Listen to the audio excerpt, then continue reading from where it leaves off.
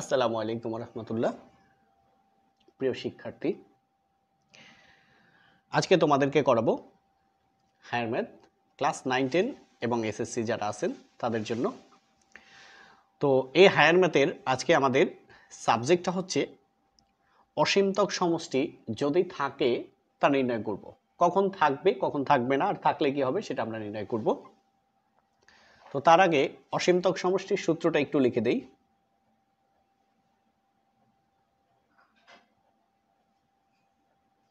অসীমতক সমষ্টি এর সূত্র S infinity equal a by one minus r S infinity equal a by one minus r a হলো প্রথম কথা। অসীমতক সমষ্টির সূত্র। এখন যেই প্রবলেমটা ম্যাক্সিমাম ফিল করে থাকে সেটা হচ্ছে কখন থাকবে। থাকবে তখনই যখন আর এর মান একের থেকে ছোট হবে। ঠিক আছে? তো সলিউশনে চলে আসলাম। প্রদত্ত ধারার প্রথম পদ। প্রথম পদ। তো একদম সর্বপ্রথমে যিনি থাকবে, তিনি হচ্ছে প্রথম পদ। এটা কত? ওয়ান। প্রথম পদকে আমরা এ ধারা প্রকাশ করি। তাহলে এ ইকুয়াল টু ওয়ান। এই যে প্রথম পদ ওয়ান লিখলাম ওয়ান। এবং সাধারণ অনুপাত।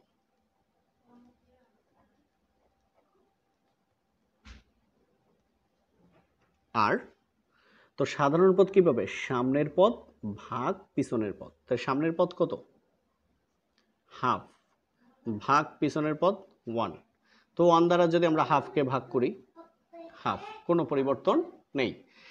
এখন আমরা যে এটা পেলাম,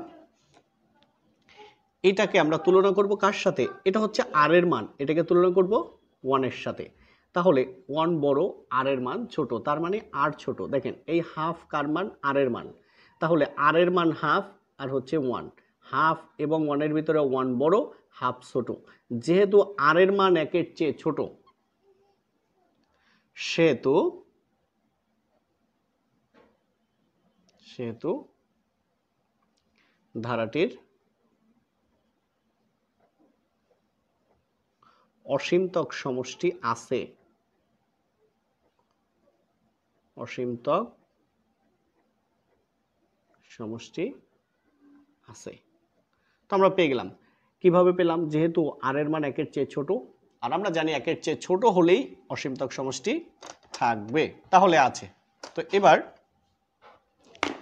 অসীমতক সমষ্টি নির্ণয় করব। সুতরাং ধারাটির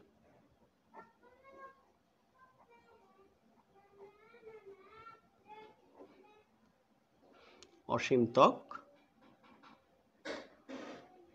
সমষ্টি S infinity equal a by one minus r এর মান কত? ওয়ান এ মাইনাস ওয়ান তারপরে কি? মাইনাস আর এর মান হচ্ছে হাফ তো পেয়ে গেলাম। এখন আমরা একটু সামনে লিখব, এই উপরের ওয়ান এবার নিচের অংশে আমরা লসাগু করব, দেখেন, এই ওয়ানের নিচে টু লসাগু টু এটা নিচে আমরা ধরতাম যে এটা নিচে ওয়ান সেটা আমরা ধরবো না, এই রুলসে আমরা করব না। তো যেহেতু এটা ওয়ান নিচে কিছু লেখা নেই মানে ভাগ নেই, ভাগ না থাকলে সরাসরি গুণ। One into two two minus two two এর ভিতরে যায়, একবার এক দ্বারা এককে গুণ করলে এক তো এবার দেখেন, এই উপরের ওয়ান আর এই যে ভাগ টু থেকে ওয়ান গেলে থাকে ওয়ান আর নিচে হচ্ছে টু ঠিক আছে? নিচে হচ্ছে টু এখন আমরা কি করব সেটা একটু লক্ষ্য করেন। এই ওয়ান আমাদের রইল। এই যে ভাগ, এটাকে করে দিলাম গুণ। এই ভাগকে গুণ করে দিলাম। এই উপরের ওয়ান নিচে চলে আসলো, নিচের টু উপরে গেল।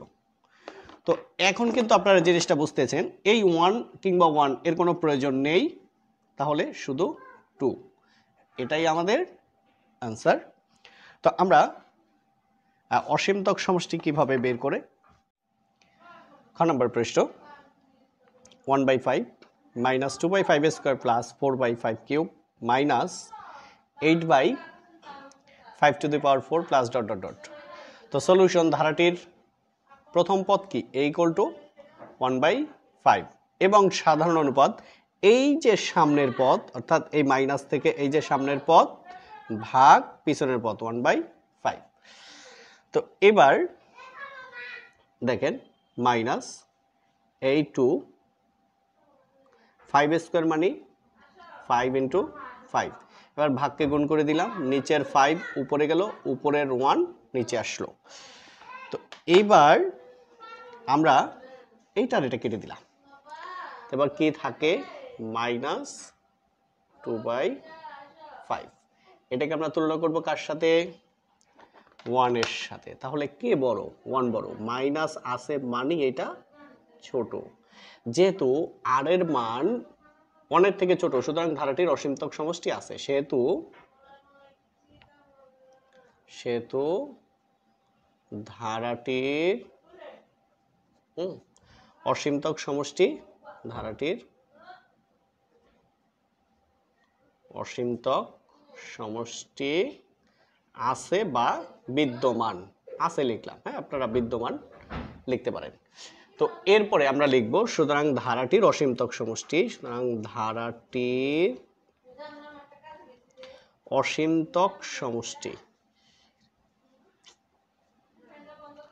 অসীমতক সমষ্টি S infinity equal a by one minus r তো দেখেন, এখন আমরা শুধু মান বসাবো। এর মান কত? One by five one minus r এর মান হচ্ছে হ্যাঁ মাইনাস টু বাই ফাইভ তাই না? এরপরে দেখেন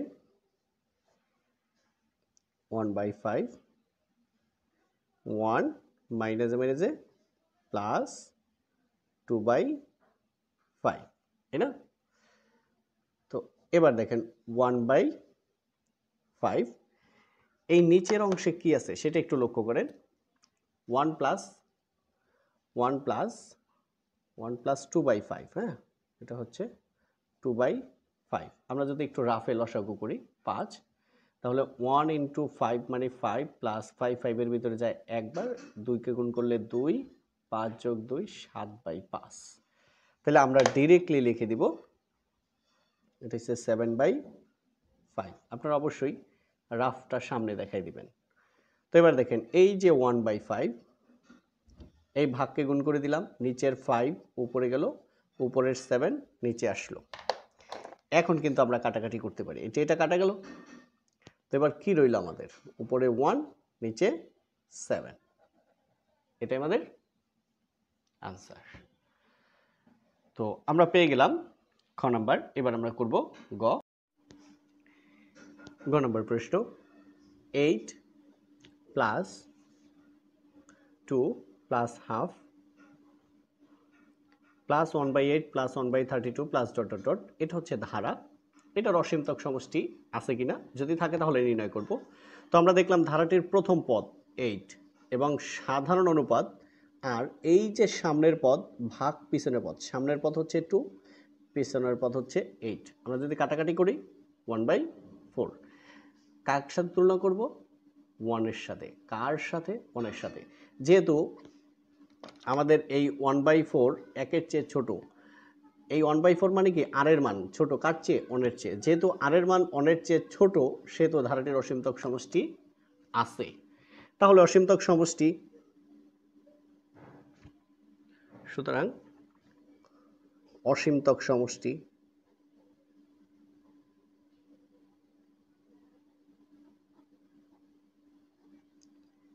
S infinity equal to a by one minus r. তো এবার দেখেন, এর মান হচ্ছে কত? এইট। ওয়ান মাইনাস আর এর মান হচ্ছে ওয়ান বাই ফোর। এবার এইট, দেখেন, নিচের লসাগু হচ্ছে ফোর। এটা নিচে ভাগ নেই, লসাগু দিয়ে গুণ। ওয়ান ইন্টু ফোর মানে ফোর মাইনাস ফোর, ফোরের ভিতরে যায় একবার, এক এককে গুণ করলে এক মানে ওয়ান। এইট, ফোর থেকে ওয়ান গেলে থ্রি, নিচে ফোর। তাহলে কি হলো দেখেন, এই এইট আমরা ভাগকে গুণ করে দিলাম ফোর উপরে গেল থ্রি নিচে আসলো। তাহলে এবার কি হলো দেখেন, চার আটে বত্রিশ আর নিচে তিন, এটাই আমাদের আমরা এখন ঘোড়ার গ নাম্বার সলিউশন করব। One plus two plus four plus eight plus sixteen plus dot dot dot তাহলে ধারাটির প্রথম পদ এই ইকুয়াল টু ওয়ান এবং সাধারণ অনুপাত আর এই সামনের পদ ভাগ পিছনের পদ টু ভাগ ওয়ান মানে টু তো দেখেন আর এর মান কত হয়েছে? ওয়ানের চেয়ে কি হয়েছে? বড় হয়েছে। আর এর মান কি হয়েছে? হ্যাঁ ওয়ানের চেয়ে বড় হয়েছে। যেহেতু আর বড় ওয়ান ছোট আর এর মান বড় হলে সেহেতু ধারাটির কোনো অসীমতক সমষ্টি নেই। এবার ও নাম্বার সলিউশনটা আমরা করব। তো এবার আসেন সলিউশন প্রদত্ত ধারার এই যে প্রথম পদ ইকুয়াল টু হাফ এবং সাধারণ অনুপাত, এই যে সামনের পদ, ভাগ পিছনের পদ। তো এই দেখেন মাইনাস ওয়ান বাই ফোর ভাগকে গুণ করে দিলাম টু উপরে গেল ওয়ান নিচে আসলো। তাহলে মাইনাস এই দুই চারের মধ্যে যায় দুইবার মানে কাটাকাটি করলে ওয়ান বাই টু তাহলে দেখেন, তুলনা করলাম কার সাথে? ওয়ানের সাথে। কার সাথে? ওয়ানের সাথে। তাহলে কে বড়? ওয়ান বড়। যেহেতু আর এর মান অনেক চেয়ে ছোট, সুতরাং ধারাটির অসীমতক সমষ্টি আছে। তো যেহেতু আর এর মান ওয়ানের চেয়ে ছোট, ধারাটির অসীমতক যেহেতু r is less than one সেহেতু ধারাটির অসীম, অসীমতক সমষ্টি আছে। সুতরাং ধারাটির অসীমতক সমষ্টি S infinity equal a by one minus r এবার আমরা কাজটা করলেই শেষ। এর মান কত? One by two one minus r এর মান হচ্ছে মাইনাস ওয়ান বাই টু। তো এবার দেখেন, উপরে হচ্ছে আমাদের ওয়ান বাই টু। এই ওয়ান মাইনাসে মাইনাসে প্লাস ওয়ান বাই টু। তো এরপরে কি হয় দেখেন, one by two, one plus half এটার আমরা লসাগু করব। তো দেখেন, লসাগু হচ্ছে আমাদের টু। তো ওয়ান ইন্টু টু হচ্ছে টু তারপরে প্লাস টু টুর ভিতরে যায় একবার এক দ্বারা একে গুণ করলে এক। এবার আসেন, তাহলে এই one by two two plus one three আর নিচের টু তো এখন কি করবেন? এই ওয়ান বাই টু ভাগকে গুণ করে দিলেন, নিচের টু উপরে গেল, উপরের থ্রি নিচে আসলো, এটা এটা কাটা গেল, রইল কি? ওয়ান বাই থ্রি এটাই আমাদের আনসার